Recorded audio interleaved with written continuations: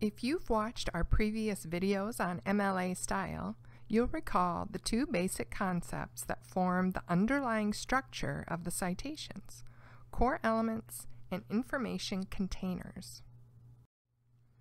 In this video, we'll discuss core elements. These are the bits of information given in a specific order which describe the work you are citing. When put together in order, these elements create a citation. In the containers video, we compared the citation to a mailing address, and we can continue the comparison here. The core elements are like the individual details needed for the post office to get the letter to the right person. Each of these details, the name, the house number, and street name, bring an added piece of information to ensure the letter gets to the right place and the right person. In citing a source, the core elements are bits of information like the author, the title, and the date published. Depending on the type of source you have, it may also include locational information such as volume and issue numbers, page numbers, or website URL. Remember, you want each citation to lead your reader to the same source you used. So you need to provide enough detail to ensure you're both looking at the same source. So let's get on with this. I'm going to demonstrate the process of creating a citation through the use of a blank template. You may not always need to use a template, but it's very helpful to use it the first few times you create a citation until you become more comfortable with the process. Different types of blank templates are available on the library website and are linked in the video description. Instead of using a template, you can also simply write or type the core elements you need in the order given. As you create your citation, you will also want to have a guide handy, such as the library's MLA 9th edition guide found on our website.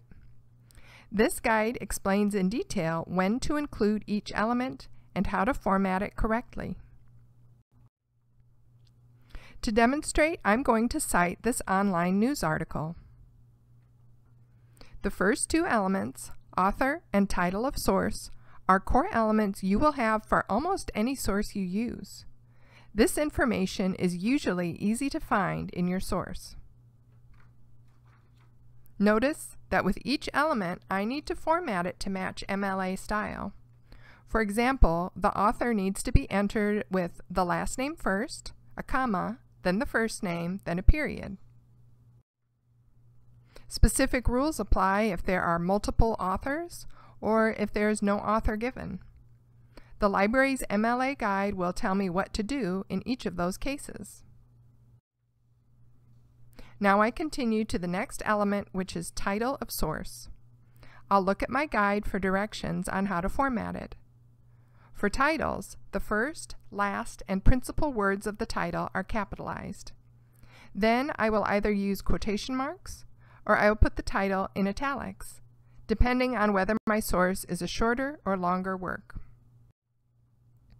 In this example, I put the title in quotation marks because I'm citing an article, a small part of the larger work, the New York Times newspaper. Also, notice the period goes before the ending quotation mark. I'm going to continue working my way through each element and either entering relevant information from the source or skipping elements that don't apply.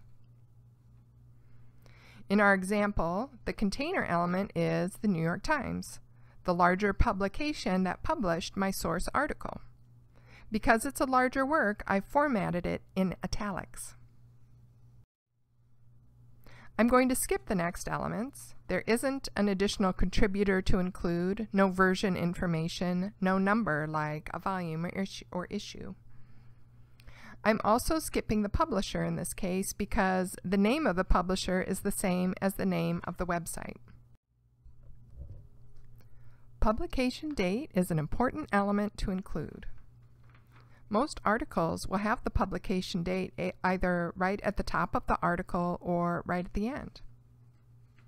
Again, I look at my MLA guide and it tells me to format the date as day, month abbreviated, and year with a comma at the end.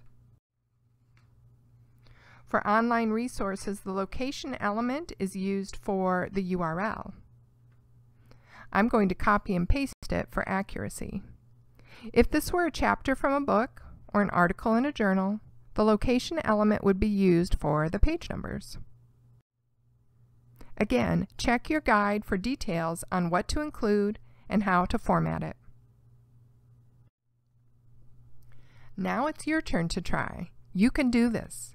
With practice, MLA becomes easier and easier.